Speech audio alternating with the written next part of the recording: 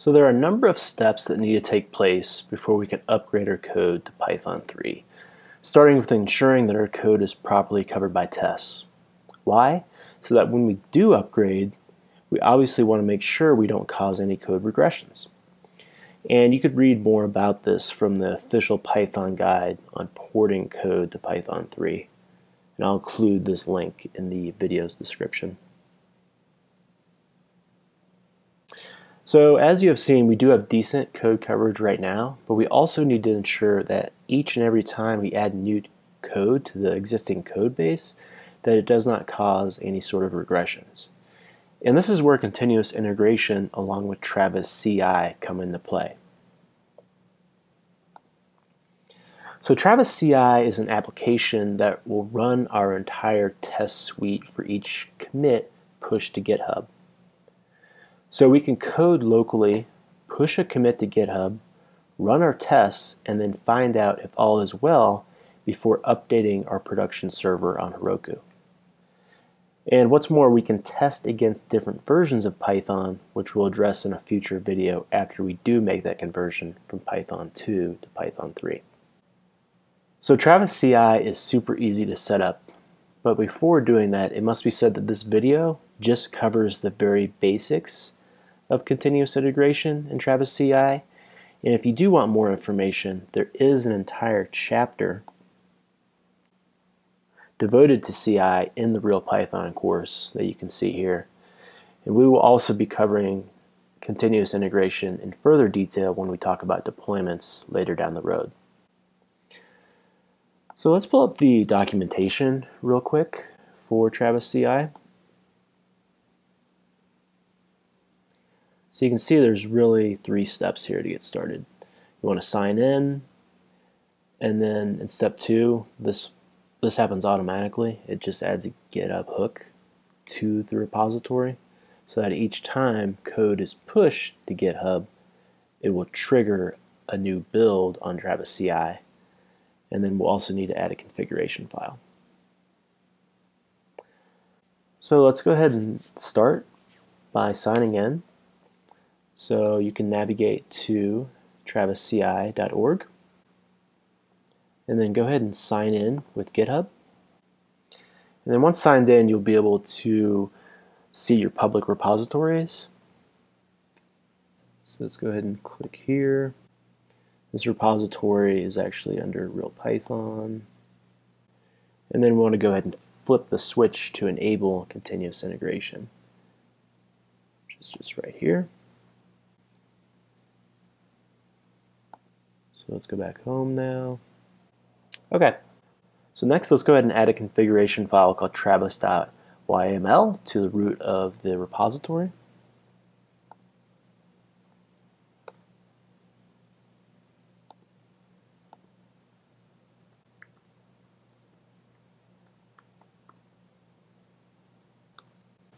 And this configuration file just tells Travis CI a little bit about our project. And we can grab an example file from the documentation here. So scroll up, click Python. Let's go ahead and grab this here.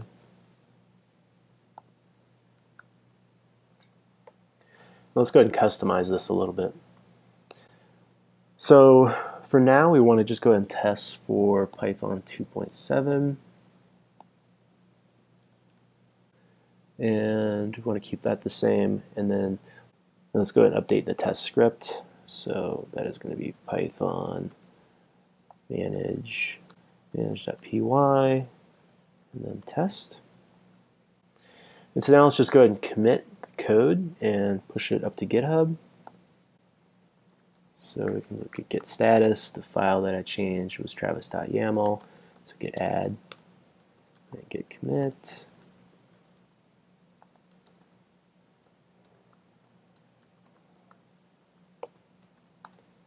and then git push. So let's go back to Travis CI now and see what's going on.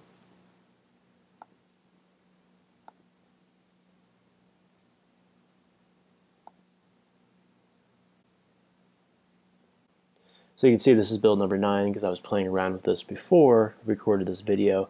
This will probably be build number 1 for you. So I'm getting no module name coverage. So I probably need that to add that to the requirements.txt file. So pip freeze requirements.txt. Let's go ahead and push that up.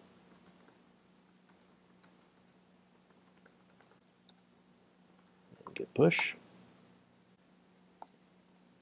So this will create a new build.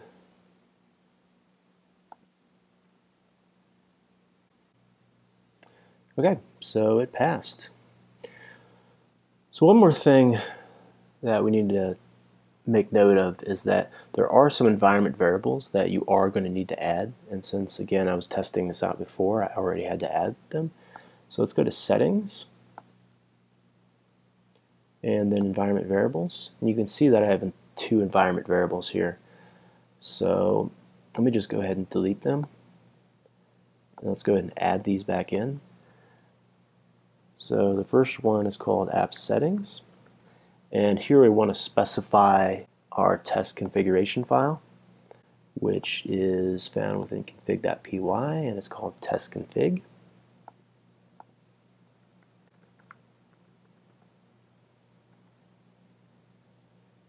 click add. And then the second one is going to be our database URL. So database URL. Let's go ahead and set this to NA for right now. So this is a bit of a hack, but we do need to fix our configuration file, which we'll do in a future video. So let me add this in. Let's go back to our build history. And let's go ahead and just rerun this just to make sure everything is working fine. Cool. And it passed. And finally, let's go ahead and add the build status image to the README so we can let the whole entire world know that our build is passing. To do that, we can click the logo here. And let's grab the markdown. Copy that. And let's go to README.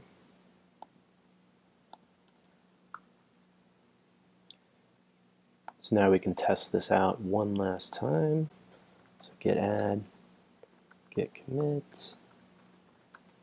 added Travis CI status badge, and then git push. So now we can check build history. There's build number 11. Perfect. So now every time you push new code up to GitHub, it will be tested. And if you go back to the repository here, let me just refresh this, scroll down, there's our badge there. All right, so that's it for now. Again, for a much, much more in-depth discussion on continuous integration, check out the Real Python course. I will see you next time.